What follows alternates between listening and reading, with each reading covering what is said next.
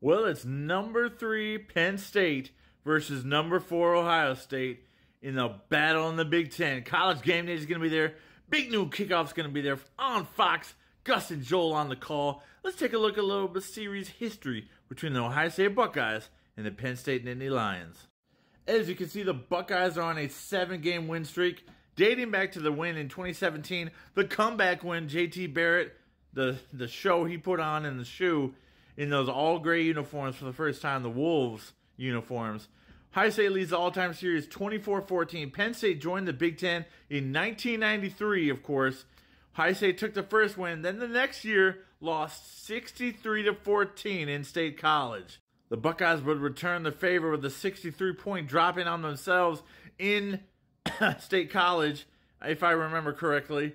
Some other amazing games, of course, the Chris Gamble interception pick six as Ohio State went on to win the national championship as a result of that game, 13-7 in 2002.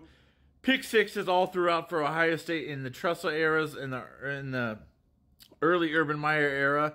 Buckeyes just seemed to get pick sixes. Uh, I think there were seven straight games they had a pick six for a touchdown. It was incredible. Penn State and James Franklin looking to snap that seven game win streak by Ohio State. Franklin needs a top top 10 victory, top 25 victory he needs, but especially needs a top 5 and top 10 victory. He's got a chance to do both here t- on Saturday at high noon in Happy Valley. State College is going to be rocking. My boy and co-host Rob is going to be in attendance. Cannot wait for this one. Give me some predictions down below. What do you think the score will be? Is Ohio State going to win? Is James Franklin going to come up short once more? Or the Buckeyes roll again?